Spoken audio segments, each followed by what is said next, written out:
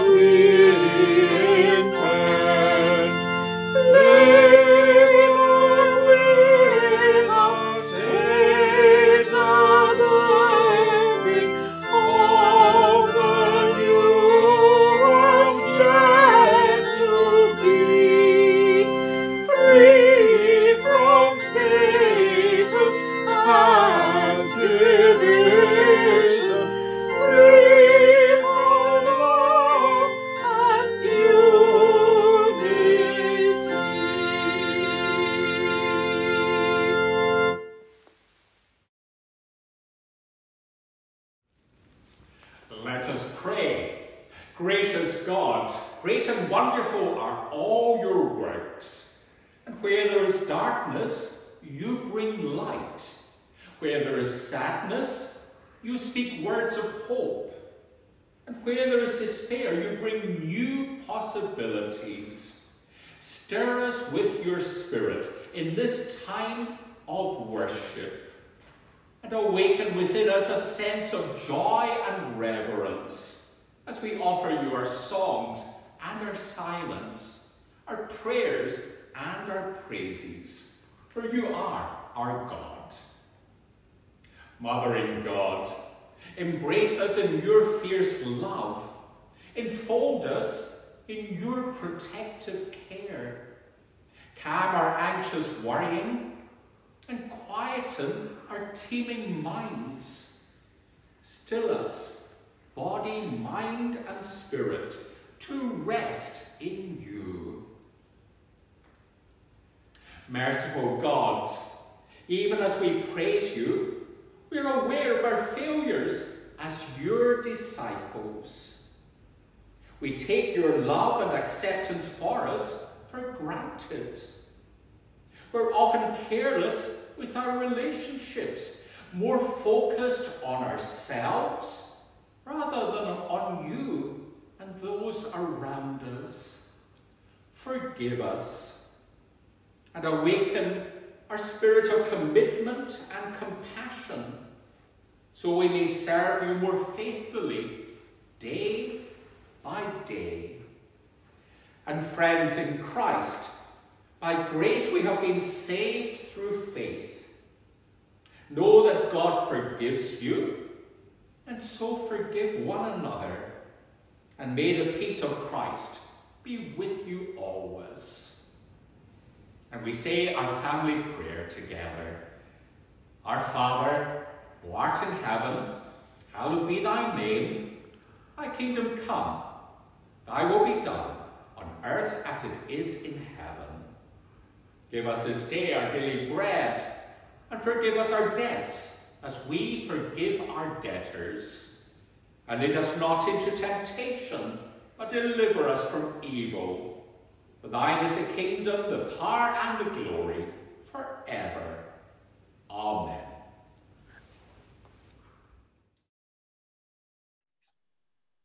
This reading is from Numbers chapter 21, reading from verse 4. They travelled from Mount Hor along the route to the Red Sea to go around Edom, but the people grew impatient on the way. They spoke against God and against Moses and said, Why have you brought us up to, out of Egypt to die in the wilderness? There is no bread, there is no water, and we detest this miserable food. Then the Lord sent venomous snakes among them. They bit the people, and many Israelites died. The people came to Moses and said, We sinned when we spoke against the Lord and against you. Pray that the Lord will take the snakes away from us. So Moses prayed for the people. The Lord said to Moses, Make a snake and put it up on a pole. Anyone who is bitten can look at it and live. So Moses made a bronze snake and put it up on a pole. Then, when anyone was bitten by a snake and looked at the bronze snake, they lived. The Gospel reading is from John, chapter 3, and beginning at four, verse 14. Let us listen to the word of God. Just as Moses lifted up the snake in the desert, so the Son of Man must be lifted up, that everyone who believes in him may have eternal life. For God so loved the world that he gave his one and only Son, that whoever believes in him shall not perish but have eternal life. For God did not send his Son into the world to condemn the world, but to save the world through him. Whoever believes in him is not condemned. Whoever does not believe stands condemned already because he has not believed in the name of God's one and only Son. This is the verdict. Light has come into the world, but men loved darkness instead of the light because their deeds were evil. Everyone who does evil hates the light and will not come into the light for fear that his deeds will be exposed. But whoever lives by the truth comes into the light, so that it may be seen plainly that what he has done has been done through God. Amen, and thanks be to God for his holy gospel.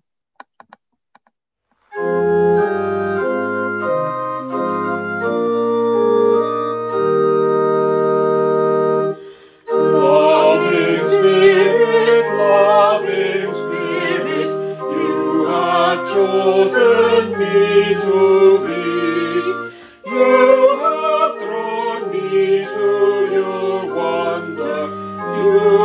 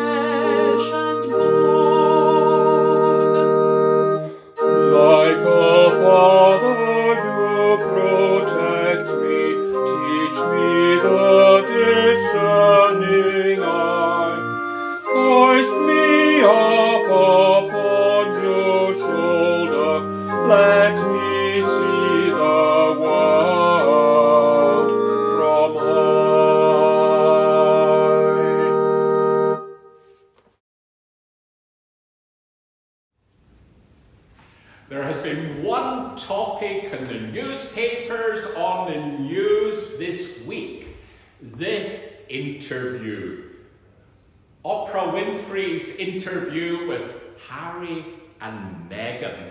And we'll all have our different opinions about it, but I think I found it tremendously sad. Sad that a family's tensions were being exposed in this way. Sad at a family being torn apart, and that's never nice to see. Today is Mothering Sunday, when we celebrate family life and especially celebrate our mothers. We thank God for their nurture of us and how they fed and clothed us and left their mark on us. Though also we're conscious that today could be a difficult day for those who lost their mothers at an early age. But Mothering Sunday also invites us to reflect on the place of the church as our mother. For the church nurtures us in our faith. That's a lifelong journey, but I'm reminded of the church in Zambia.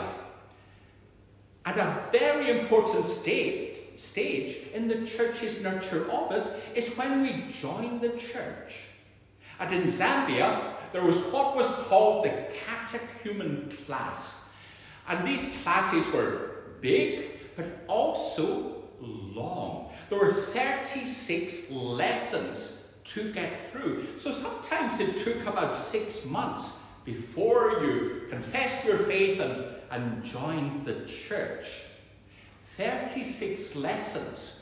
And after each lesson, there was a memory verse that you to memorize for the following week. And that verse could be something like memorizing the 66 books of the Bible in order, or a simple verse.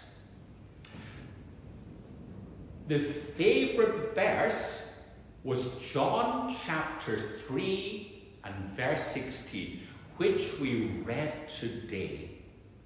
For God so loved the world that he gave his only Son, that whosoever believes in him may not perish, but have life everlasting.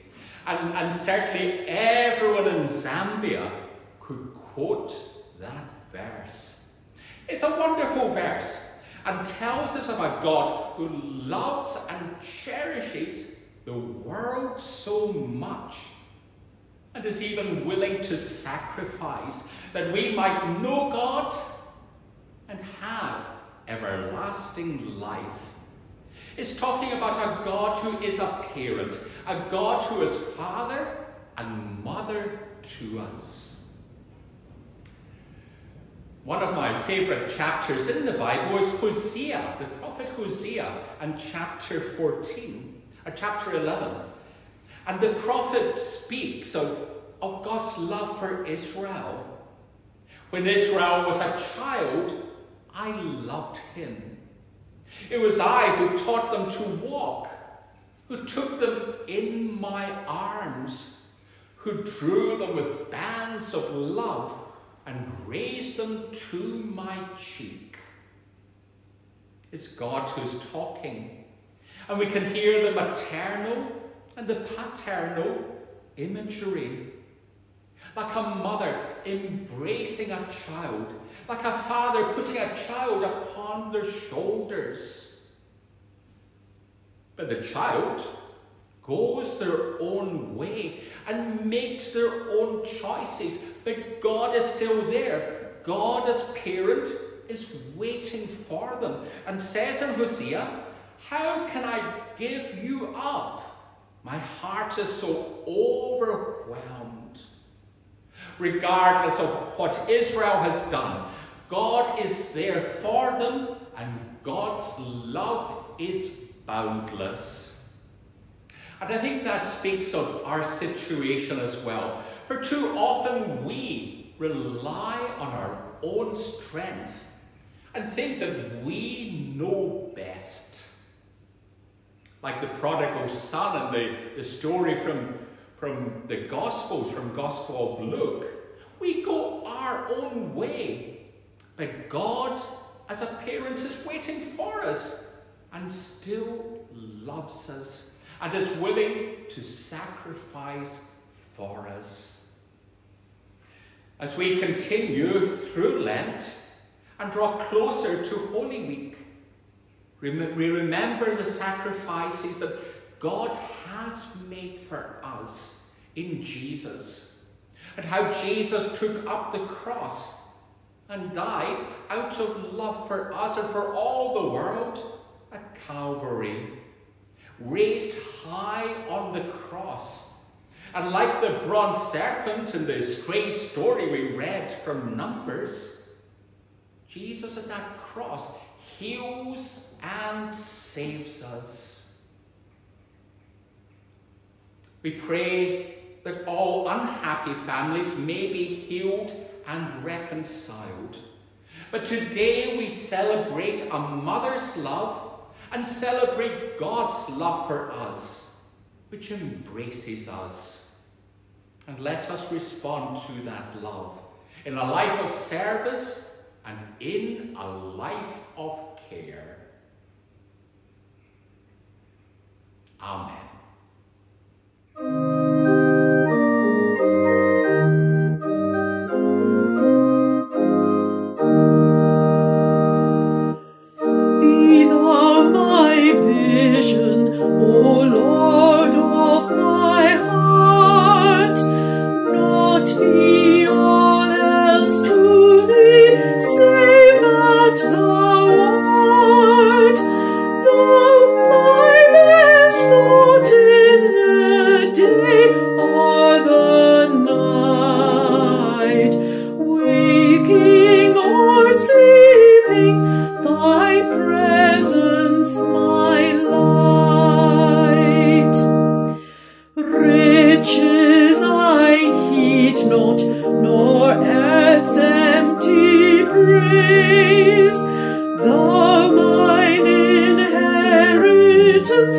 know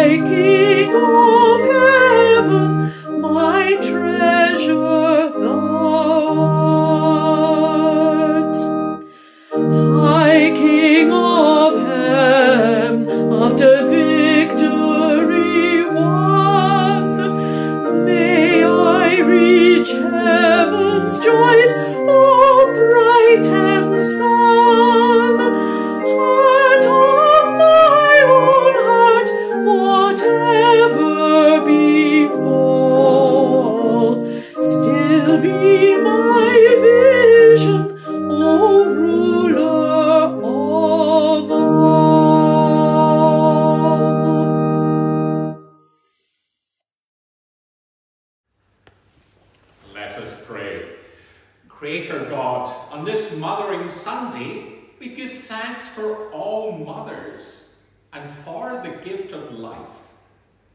We pause for a moment and hold our own mothers or those who mothered us before you.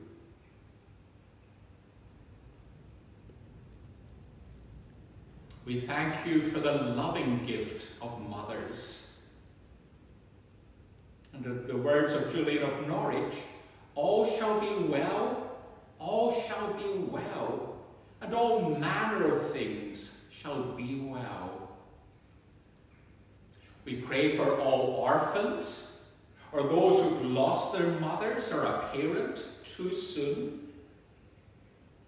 We pray for all who are parenting children and who feel overwhelmed or who are struggling to cope. We pray for families who have separated. We think of adoptive parents or foster parents, step parents, and those seeking to build up new relationships. We pray for all who have longed for a child. All shall be well, all shall be well, and all manner of things shall be well. We pray for parents struggling to feed their families, for those who live with conflict or violence or fear, and those who've had to flee their homes. And we thank God for families where children are well and happy and full of life. And in this Mothering Sunday, we give thanks for our Mother Church and for our experience of being loved by a family that is as wide and broad as the human race. Creator God, we thank you for always holding us in the palm of your hand. We take a moment of silence and bring our own prayers before God.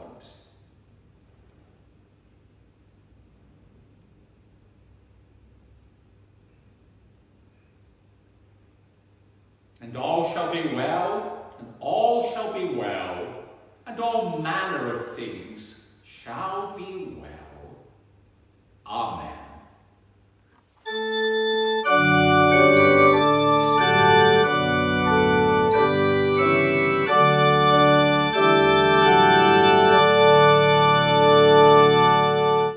Oh Jesus, I have promised to serve you to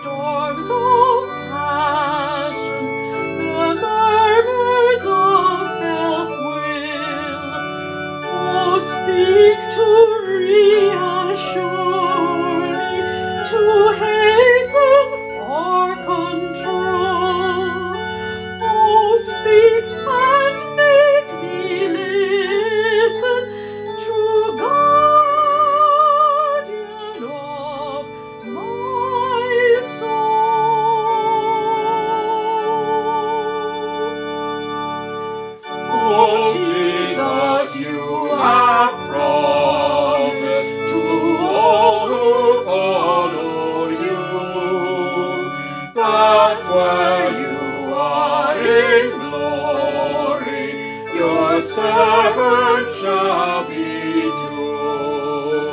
And Jesus, I have promised to serve you to the end.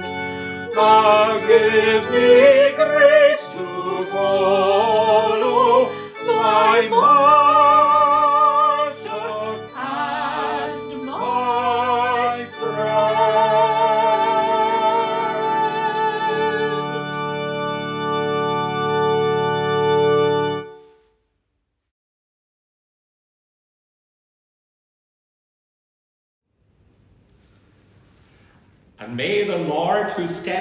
love is as constant as a mother's care, send us out to live and to work for others. And may the blessing of God, Creator, Redeemer, and Sustainer, be with you and be with all whom you love and those whom we're called to love, now and forevermore. Amen.